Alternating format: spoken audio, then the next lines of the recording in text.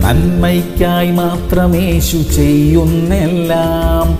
കഷ്ടതയിൽ നമ്മെ താൻ കൈവിടുമോ? പാപങ്ങൾ എല്ലാം മോചിക്കുന്നു. രോഗങ്ങൾ എല്ലാം സുഖമാക്കുന്നു.